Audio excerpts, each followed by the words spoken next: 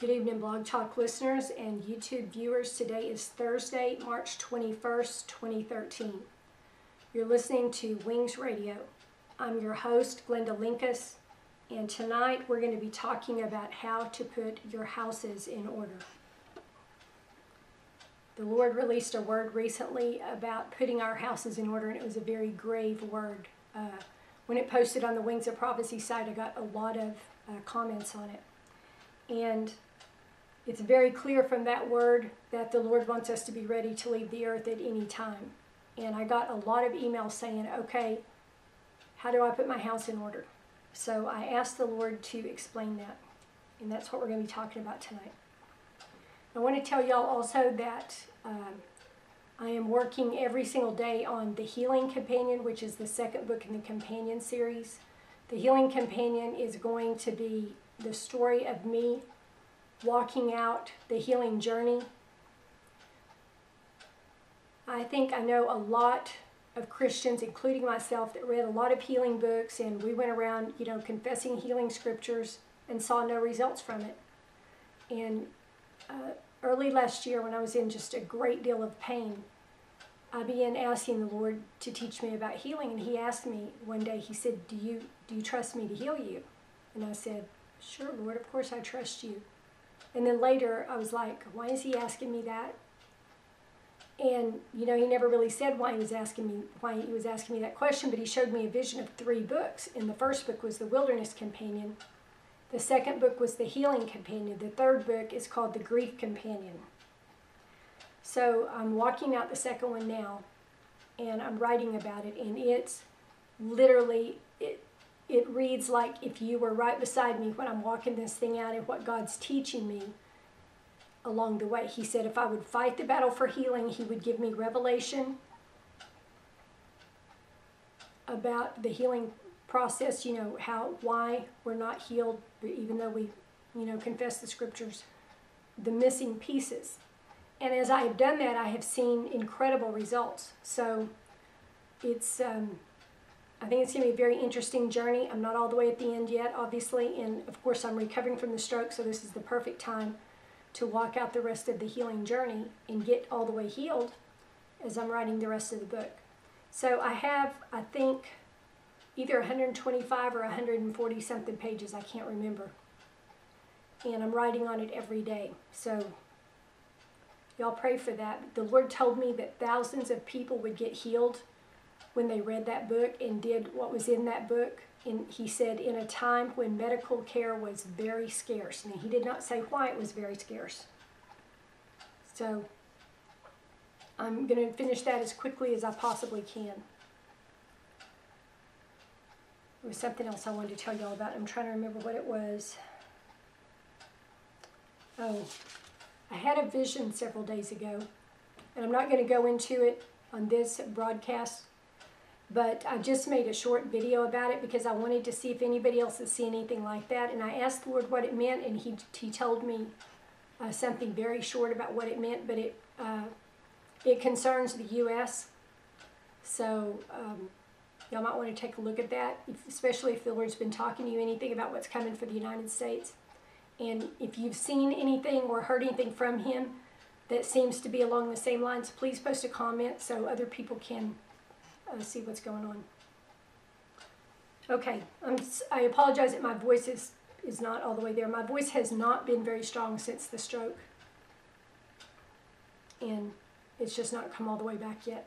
But I know the Lord will restore it, so I'm going to do my best to read this word to y'all, and as quickly as I can, I'll get the word typed up and I'll get it out on the wing site where you can uh, read it. And the word is called How to Put Your House in Order. My people, in order for you to put your houses in order, you must defer all decision making to me or my holy word.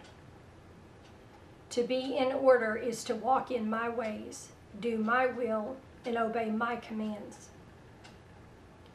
Many of you have walked your own way and done your own will for all your lives. This was not my way for you, but in your stubbornness and rebellion, you refused to hear my voice or obey what was right. Let me stop for just a second there because the Lord is showing me in the spirit there's a gentleman who's watching this video or who will watch this video. And the Lord is saying that you're one of these people that has walked your own way, but that you think you're not. And He said that your life is in a big mess right now, but you're putting the blame on other people and not on your own self for walking in rebellion to God. And He's saying you need to turn from that. You need to stop doing that and submit to His will because if you don't, He said the reward for rebellion is fixing to come down on your head in your life and it's going to be really bad and you're not going to be able to fix it. And I mean really bad. Like imprisonment or something like that. It's really bad.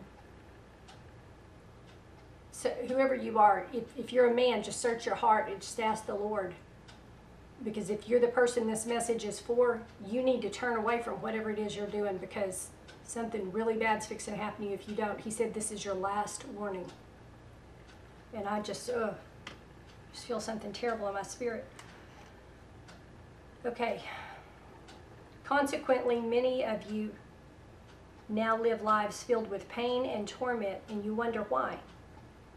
Many doors opened to the enemy in your rebellion have brought you to this place.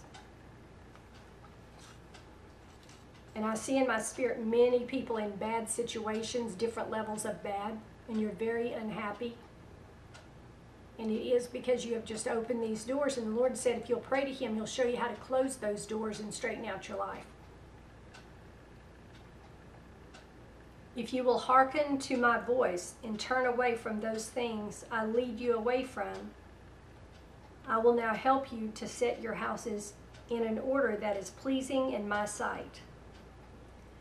Many of you have much work to do, but some of you who have walked in my ways for many years have very little to set to set right to be in order in my eyes. Sorry, y'all. I, I wrote this really fast when he gave it to me, and so some of it's hard to read.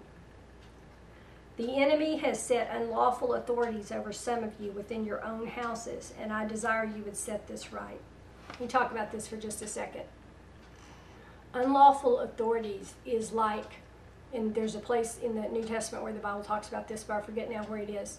Is like children having authority over parents. It's like uh, parents having authority over a married couple or mother in laws or father in laws.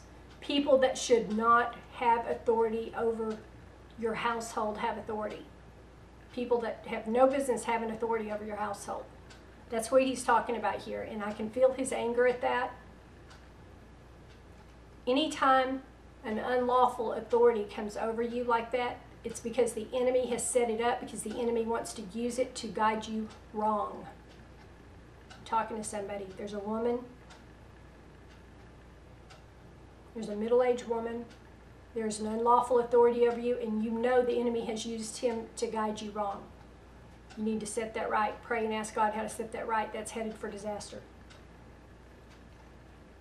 It is not my desire that you be out of order in your households. How can you obey me if this is so? And this is exactly what happens, y'all. The enemy gets unlawful authorities over our houses, and it keeps us from being able to do God's will. That's like unequally yoked marriages, where if you come under a husband that's unsaved, he doesn't want you to go to church, he doesn't want you to read the word, he doesn't want you to do anything for God because he doesn't care about God. And that's a serious problem if you're trying to live for God and be in God's will because you put yourself under an unlawful authority. And the problem is, a lot of times we get into marriages like that when we're not saved. And I was in one a long time ago, and I remember all too well how horrible it was. But if you turn that situation over to the Lord, He will show you a way to come out of it or to make it okay. In soon times coming, I will be shaking many nations. Households that are out of order cannot survive this shaking. You must put your houses in order while there is yet time. I love you, my children. I do not desire that you fear what is coming. Draw near to me and allow me to protect you under my mighty wings. You will be safe if you will abide in my shadow. And that's obviously a reference to Psalm 91.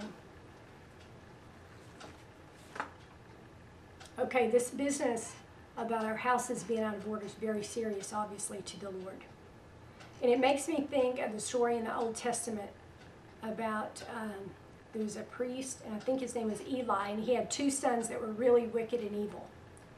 And they caused him to, well, they actually caused him to be taken of a heart attack because the Lord was very unhappy with him because they um, they would like go tell the people that they had to give certain things for sacrifices and they just did everything wrong and evil. It was all about what they wanted. And that's a good story to look at, to, to think about, you know, putting your house in order. God doesn't want unlawful authorities over us. He doesn't want people being used by the enemy to tell us what to do and what not to do. He doesn't want that. And I think that our physical surroundings are also important. I say that because somebody either posted a comment on um, one of my sites or, and I can't remember where I saw it, if it was there or somewhere else that I read it, but someone posted that the Lord told them that they, the Lord told them that He wanted to use them in a greater way, but that their household, their physical surroundings were so chaotic, so out of order, so messy that He couldn't. And I just thought, wow, who would think that your physical surroundings were that important? But your physical surroundings are a reflection of, you know, what's going on in every place else. So we need to work on those as well. But more importantly, is the spiritual order of your house, the order of authority, the order of doing things God's way. Obviously, a lot of this is about walking in His ways, and obeying his commands. Because if you're doing those two things, a lot of the other stuff is going to take care of itself.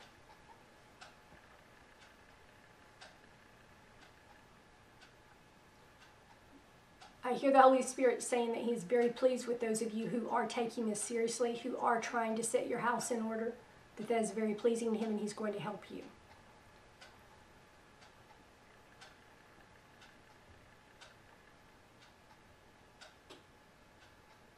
There are things coming that are not going to be pleasant, y'all.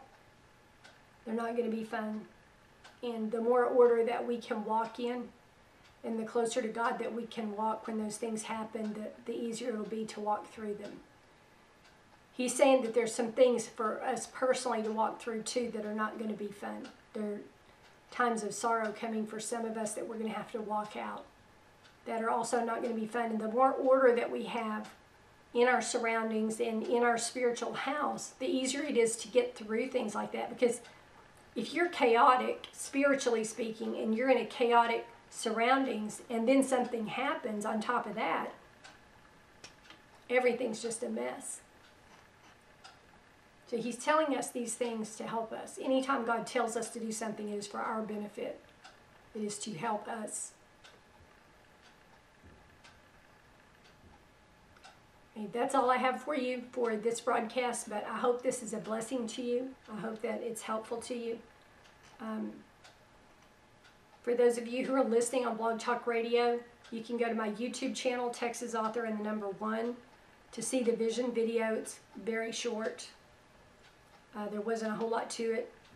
I was just shown one thing, but I was shown a particular part of the United States, and then I prayed and asked God about it, and He spoke one thing to me about the U.S and that's uh, what it's about. So, and you can leave a comment if you've seen or heard anything that you believe relates to that.